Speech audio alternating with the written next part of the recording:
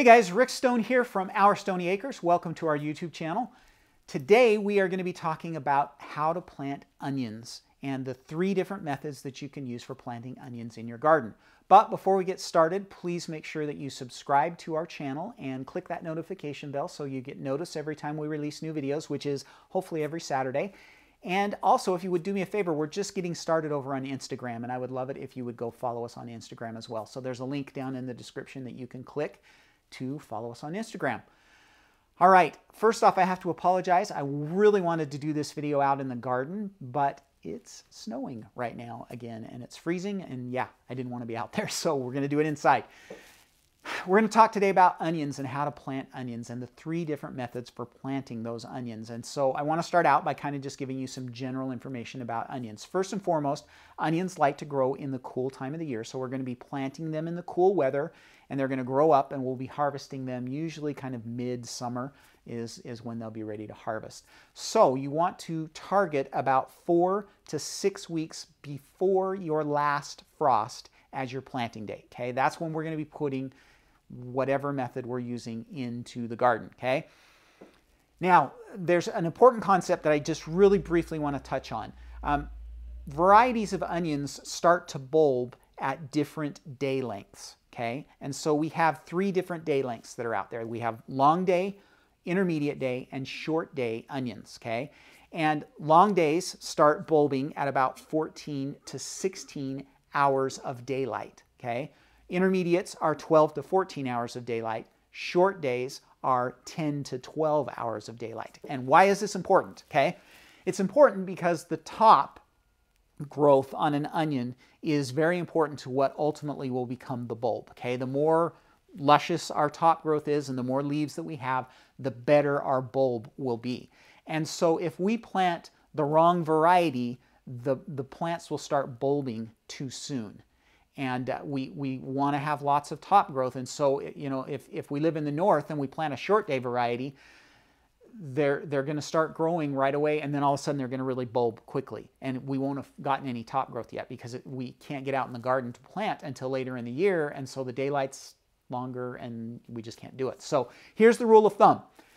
If you live in the north you plant long day varieties. If you live in the south you plant short day varieties. If you live in the middle, you plant intermediate day varieties. And those of us that live in the middle, can get away with a little bit more variation. So if you live in the northern part of the intermediate area, you can usually get away with some intermediates and some long days, okay? If you live in the southern part, you can do intermediates and short days, okay? But if you live in the north, no short days. If you live in the south, no long days, okay? Make sense? All right, hopefully it does. So I'm going to include a link down to uh, an onion producer that actually has a map that will kind of show you, uh, it's a map of the United States and Canada that will show you what area you live in and uh, what variety you should be growing, what types you should be growing. So that's very, very important, okay? All right, so let's talk about kind of general bed preparation before you're actually ready to plant your onions. So onions like fertile, well-drained soil in full sun, okay? So they need to, that, that spot needs to be getting eight hours of sunlight or better uh, during the summertime. That's that's what we want. We want that that bright sunshine, and we also want it to be well drained and fertile. So the thing that I recommend that you do is that you put some compost in before you plant. So I like to mix a couple of inches of compost into the top few inches of soil. That gives us a nice, rich, loose soil that will do really, really well for onions. The other thing that I like to do is give them a little bit of fertilizer. Now we're organic growers in our garden, and so we use an organic um, fertilizer, but this is just a, and, and this variety isn't particular to you know anything, but we'll use a powdered organic um, granular fertilizer that, that will mix into the soil when we mix that compost in as well. Before we plant, okay? That will give them a good boost and a good head start. Now, if you have really good soil, maybe you could skip that fertilizer, but I feel like my onions do much, much better with fertilizer. So I do use a little bit of organic fertilizer uh, when we are growing our onions. So that's kind of the bed prep and the thing you need to do. Now let's talk about the three different methods that you can use for planting your onions. All right, so method number one would be planting from seeds, okay? So here's a couple of different packages of seeds. There are some real advantages to growing from seeds. Number one being varieties, okay? There are hundreds of varieties of onions out there, but not hundreds of varieties of the, the different methods, the sets and the seedlings that, that, that we can grow. But there are lots and lots of varieties of onions. And so uh, that's one of the main advantages of growing from seed, okay, is that there's lots of variety available. But I really, really don't recommend growing from seed because onions take a long time to grow, a long time, okay? So I start my onion transplants on January 15th every year and I harvest my onions about August 15th. Okay, so that's seven months that from seed to harvest. If you're trying to plant in April or May from seed, you're not going to have seven months. Okay, it's just not going to happen. You're, you're not going to have that much time to grow your onions. And so I really discourage people from trying to grow from seed. You just, unless you live somewhere really, really warm with long, long days, uh, you know, somewhere in the south, you might be able to get away with it. But even then, I think you're better off with the other two methods. Okay, now the one exception to that would be uh, bunching onions. So these are bunching onions, variety that we've grown for a couple of years now. And bunching onions we grow for the green onion, not for the bulb. Okay, and so they don't take as long to grow. And so you can get away with an early planting of bunching onions and getting those to harvest during the summertime. So if you want to try some by seed, I would go with the bunching onions. Otherwise, I would choose one of our other two methods. So method number two is planting by sets, S-E-T-S, sets, okay? And these are sets. So this is a bag, I'll do a close-up. This is a bag of sets that I bought so that we could see these. And basically is what sets are is they are little mini onions. And the way they grow them is they plant them really intensely and force them to kind of grow really close together and that creates these little small bulbs and then they harvest them when they get about to this size. And then save them over the winter for us to grow the next year. And they're really simple to grow, and that's one of the main advantages of growing from sets is, is they, all, you, all you have to do literally is stick them in the ground and they'll grow, okay? And so they're super, super easy to grow, and they're also very inexpensive. So this package, which has probably between 75 and 100 onions in it, was $2.99 uh, is all this cost, okay? So very inexpensive to grow and very easy to grow. But there's some real disadvantages to sets as well. And I have quit growing onions by sets, and instead I use transplants, which we'll talk about in a minute. But here are the disadvantages to, to sets. Number one, when I went to buy my onions today, when I bought these onion sets, there were two varieties, red and yellow. Sometimes I'll see a white. So three varieties to choose from. That's it.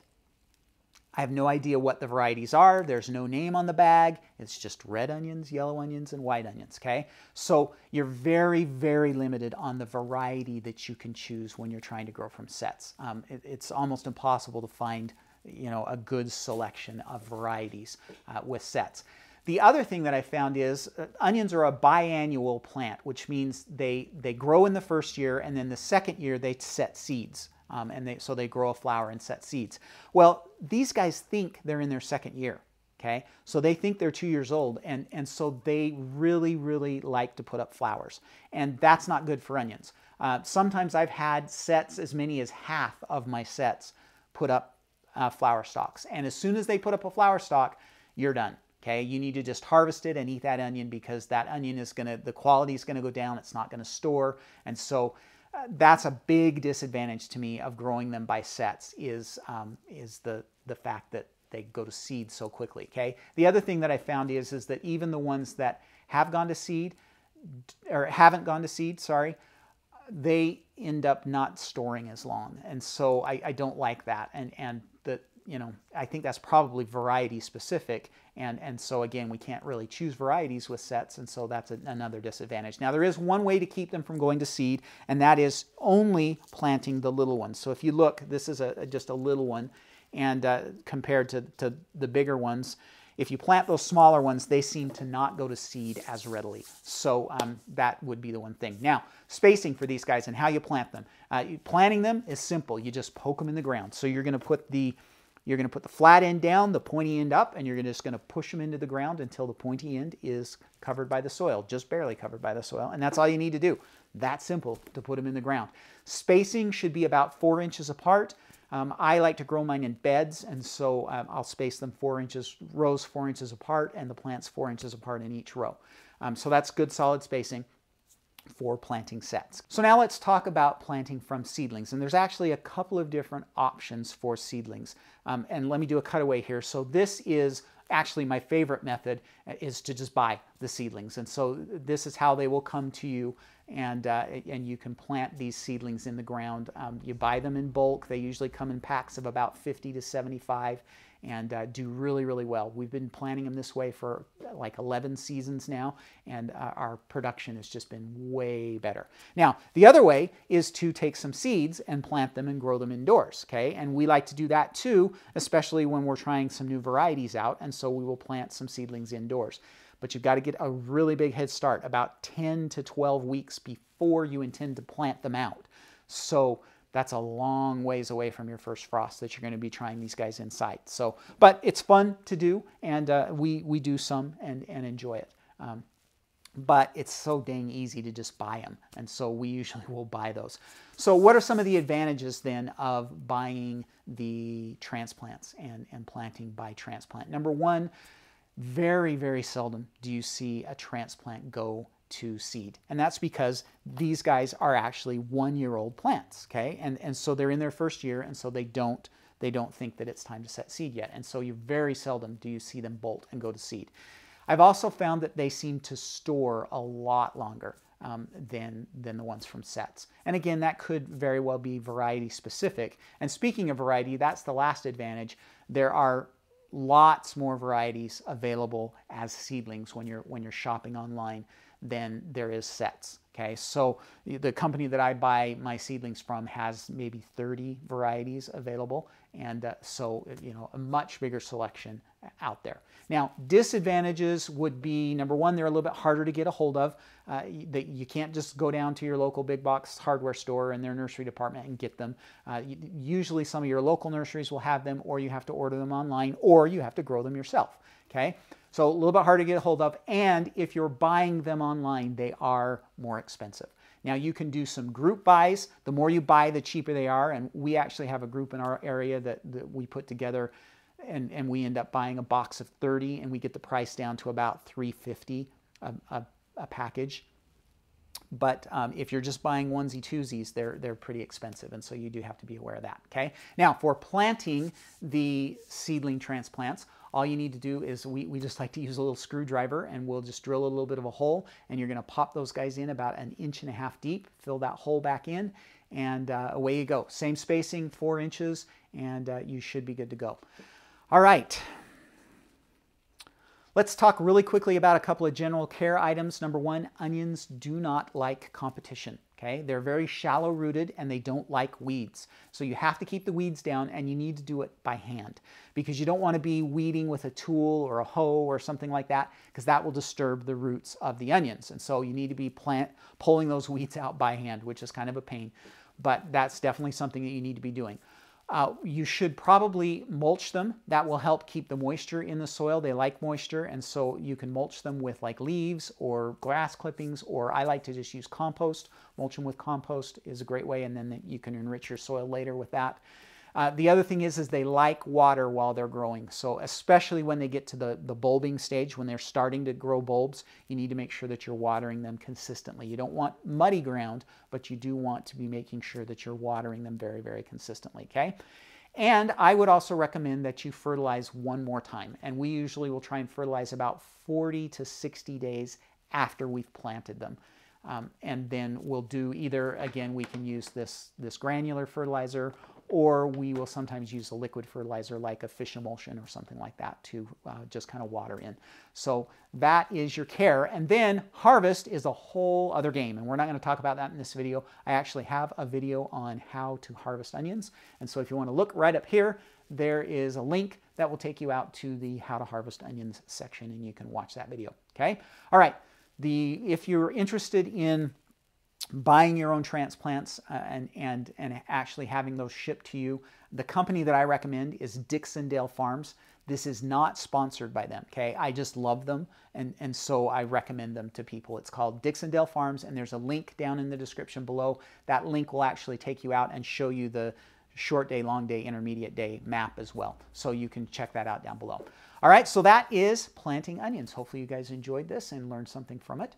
Um, while you're here, if I could take just a second to talk to you a little bit about the Gardening Academy. The Gardening Academy is where I teach people how to become better gardeners. And we do that by providing weekly content. So we do things like planting guides, we do a monthly mini course, we have a live Q&A session where I get on a Zoom call and, and talk with everybody and answer your questions. We do recipes, we do canning advice, we do interviews. We have all kinds of great stuff that we do on the Gardening Academy to help you become a better Gardener. And this is a monthly subscription service, and so this really helps our channel. It helps to support us here at Our Stoney Acres because YouTube ain't paying the bills, okay? So if you would like to join the Gardening Academy, I would love to have you join, and there's a link down in the description below, and you'll learn a lot more about the Gardening Academy and can sign up. So please come join us and support our channel that way.